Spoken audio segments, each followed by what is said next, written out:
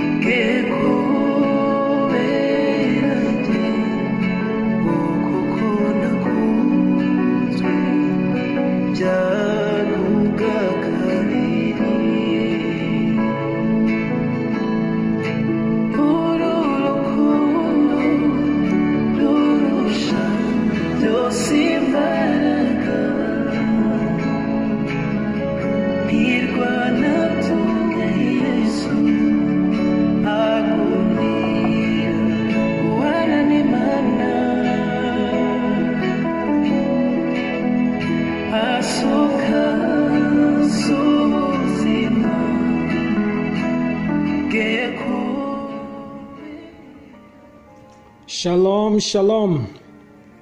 Ndabasuhuje mwese mu izina ry'umwami yesu kirisito ubuntu n'amahoro bye bibane namwe aho muherereye hose. Data ashimwe cyane ku bw'uyu mwanya n'uyu munsi aduhaye. Ikigomba kubaho ni kimwe kirazwi ni ukuwishimiramo uhitamo kuwishimiramo kandi iyo utangiye wishimira umunsi wawe umunsi wawe uba ubonye ubutumwa bubwira uko ugomba kwitwara. Ubwo bivuze ngo umunsi wawe ukwitwareho neza. Rega ntusanzwe uri umwana w'imana. Imana umuremyi wa byose. Ndagusengeye cyane ngo icyo imana ikwita cyo? Icyo imana yakugize cyo? Icyo imana yaguhaye? Aho imana yagushyize? Mu izina rya yesu kirisito ushobore kuhakomerera. Ushobore kubyumva ushobore kubisingira. Ntihakagire umuntu n'umwe n'ikintu na kimwe gishobora kuguhagarika. Ahubwo ineza ye ubuntu bwe n'imbaraga ze bikugote bikubere inkingi wegamiraho mu izina rya Yesu kirisito ngo bihamye icyo wahawe n'aho washyizwe. Mu izina rya Yesu kirisito mu izina rya Yesu kirisito dushimiye data wa twese nanone kubw'ubuntu bwe butarondoreka kubw'ubuntu bwe butagira akagero. Yadusagijeho cyane kubw'umurimo ukomeye utangaje yakoze ku musaraba. Umusaraba n'ingaruka zawo ni nziza kuri twese. Aho abantu bagera bakaruhuka. Aho abantu bagera bagakira. Ariko niba uri kubibona ni ibintu bisobanutse iyo ubyumvishije iyo ufashe akanya kubyumva urabyumva nyine ko ari ibintu bisobanutse. Bisobanutse gute? Bisobanutse ko umunsi yesu yapfaga atari we wenyine wapfuye ahubwo byagize ingaruka ku bantu bose. Paul abivuga muri aya magambo bakorino ba kabiri gatanu cumi na kane urukundo rwa kirisito ruraduhata. Iki kintu cyo guhata ubundi bivuze ruradukonvenka. Noneho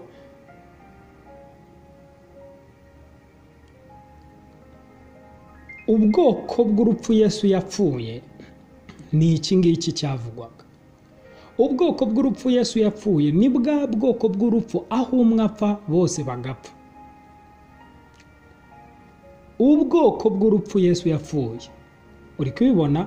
Ni uko ari rwa rupfu mwapfa bose bagapfa. Ni rwa rupfu rukomatanye rwa rupfu rugomba kugira ingaruka rwa rupfu rugomba kugira imbaraga ku bantu. Icyo kintu ni ikintu gikomeye kuko um, muri hari version version yitwa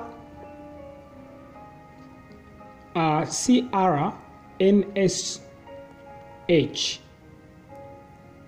iyo ni version imwe isobanura ibyo bintu ikavuga ngo ngo mbona i see in his one death mbona mu rupfu rw'uyu muntu umwe muri uru rupfu rumwe the death of all of us.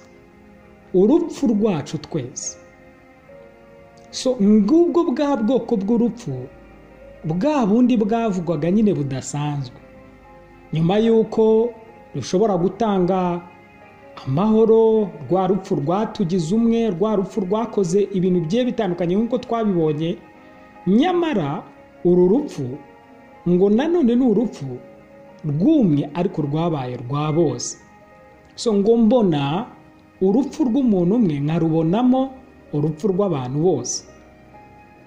Akavuga ngo already accomplished after the man of his death.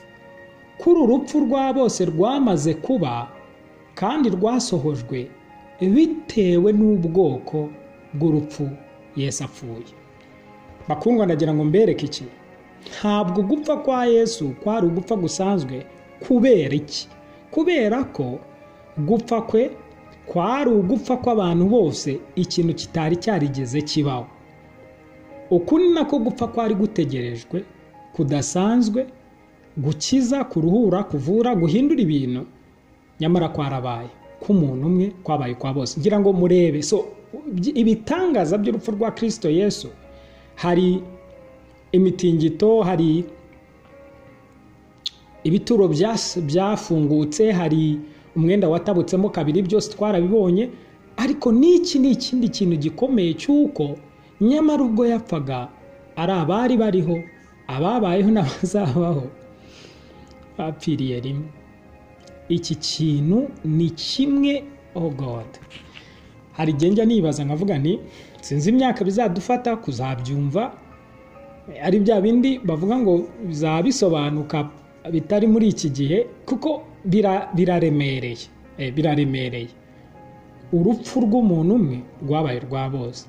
Nyamara nagerageje kubivunagura ku bwawe kugira ngo wumve ko impamvu urupfu rw'umwe rwaba rwa bose niba warumvishije uburyo ihame ry'umuntu umwe rikora iki wahita na cyo ugisingira bitakugoye.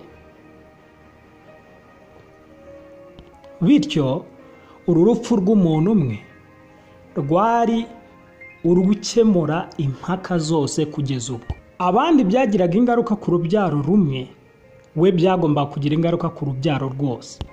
Nicyo gituma ntako bisa kuko byo birihariye. None se umwihariko wabyo ni uko byabaga kuri bose. Byabaye ku bantu bose. Ntabwo byabaye ku muntu umwe. Niwo mwihariko mu gihe abandi bose bo byageraga ku bantu urubyaro runaka. Nicyo gituma n'ubundi uzabona ibiri muri sogokuru bishobora gukurikirana urubyaro rwe buri muri abo bake runaka. Hano ntabwo ari abantu bose. Hano umwihariko turi kubona ni uw'abantu bose. Si umuntu wenyine wari ufite kapasite yo gukora iby'abantu bose ni adamu na kirisito ni adamu wenyine hanyuma na kirisito waje akabihindura. Ariko mbere yaho undi wese waje inyuma ya adamu yari afite ubushobozi bwo gukora abantu bose. Byabaga ari igihugu urubyaro itsinda ry'abantu muri ubwo buryo.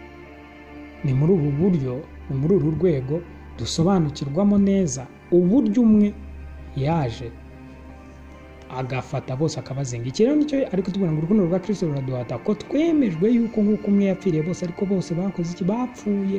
Si umwe yapfiriye bose. None ugira ngo wumve icyavuga ngo umwe yapfiriye bose muri kapasite ya yesu yesu ni we wenyine ufite ubwo bushobozi bwa bose. Mu gihe abandi amashusho dufite ni ay'abantu bake bake ariko ugasanga bigize ingaruka ku bantu runaka. Bari mu bushobozi bwe cyangwa bari mu nda ye cyangwa se bari ah, mu- gihugu cye cyangwa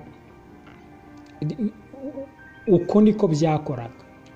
Ariko none uyu we ntabwo ari abantu bake. Nta nubwo ari itsinda ry'abantu. Ni bose. Ibi bintu rero bitwa ibya bose ubundi ni umwihariko ukomeye w'uyu kirisito yesu. Yesu aho atandukaniye ni uko we azinga abantu bose. So ni cyo ariko mu rukundo rwa kirisito ruraduha? Twemejwe yuko nk'uko umwe yapfiriye bose ariko bose bapfuye. Si ibi ni bwo byari bikibaho cyangwa byari bikibaye. Ni ho bwari bikibaye. Kuko ahantu honyine wumve ngo naho byigeze kuba byari byarabaye kuri adamu nawe ubwo washushanyaga uwamurutaga wari ugiye kuza. Nawe ingaruka zose yateje mu bushobozi bwe buke.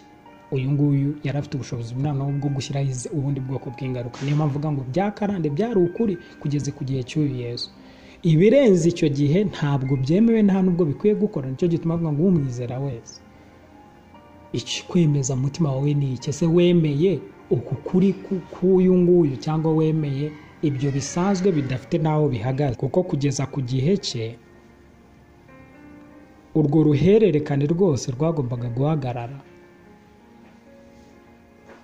Rwahagarara hagatangira urundi ruhererekane rushya. Iyo niyo logike niko bikoze. Nguyu umwihariko we mu buryo bukomeye cyane. Aha rero niba wumva ibye noneho biruta imbaraga nyinshi nyinshi nyinshi cyane. Yebwe nk'ubwe zitabarika zijyanye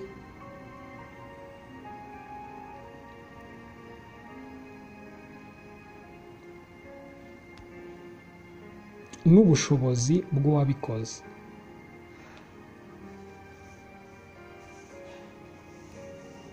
iki ni kimwe mu bitangaza ni kimwe mu bitangaza biri kugenda biba biri kugenda bikorwa.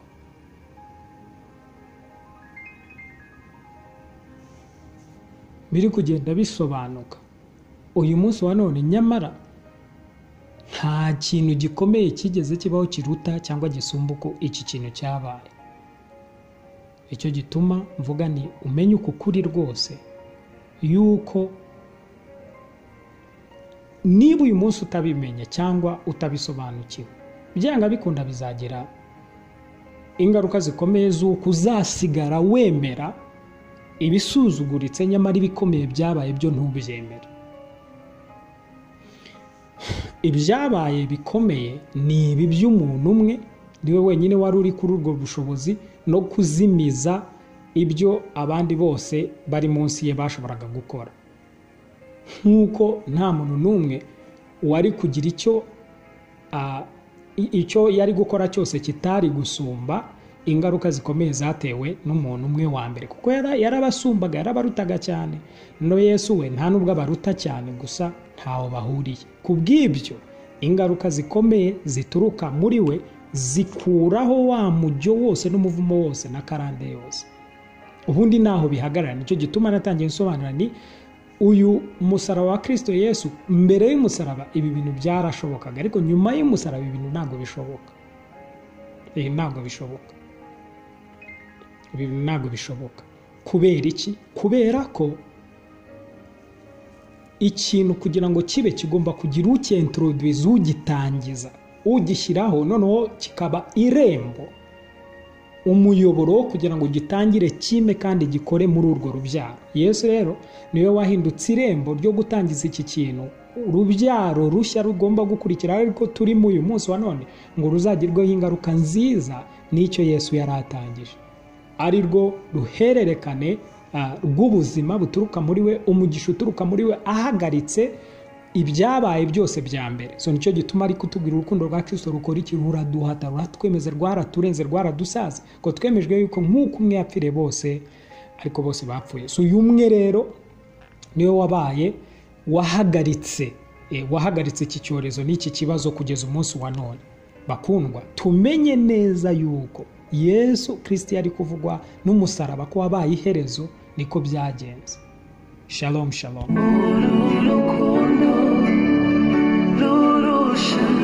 byose